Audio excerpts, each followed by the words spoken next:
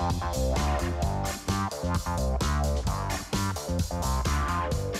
how's it coming? Oh, my back.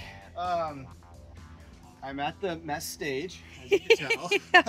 I feel like I've gotten all my tools out. Um, right now we are um, we're doing doing detail work, right? So this is the 12 volt converter. I had to solder all the wires up, the positive and uh, negative. So here's uh, our 48 volt positive, 48 volt negative. What you have to know when you're putting a battery meter in like this with a shunt is all of your power has to go through that shunt. All the power basically between the battery and the cart, and that includes your charger. So this can't land directly on the battery. It has to land on the cart side of the shunt and that is going to force all of the charge through that shunt too. So we can actually get both sides positive and negative.